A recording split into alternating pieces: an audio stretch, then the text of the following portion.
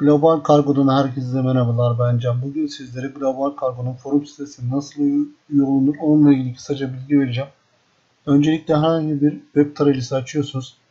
Boş bir sekme içerisine globalcargo.all.s.forum yazıp enterliyorsunuz. Bu işlemi yaptıktan sonra lütfen forumumuzdan yararlanabilmek için giriş yapın ya da kaydolun seçeneği var. Siz kaydolun seçeneğini seçiyorsunuz.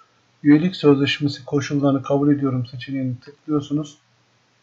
Buradan kullanıcı adı belirliyorsunuz. Hemen bir tane test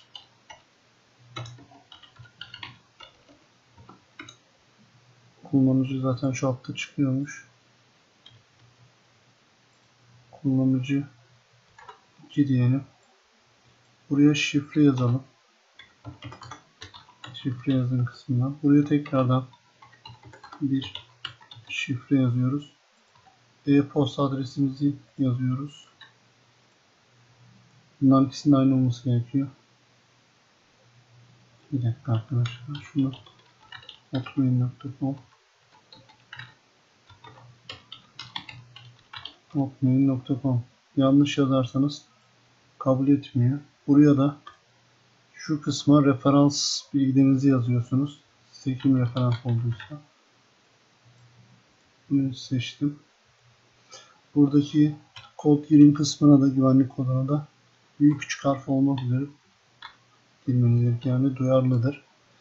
Buradaki seçenekler ise hesap seçenekleriyle ilgili e, forumdan nasıl bir şekilde yararlanmak istediğinizi belirtiyor. Ta bildirimleri takip etmek istiyorum. Seçeneğini seçebilirsiniz. Bunlar hiçbir şekilde belirlemeyin. Forumu üyelik kaydı formunu gönder deyin. Oradan şifreyi hatırlayın. Evet gördüğünüz gibi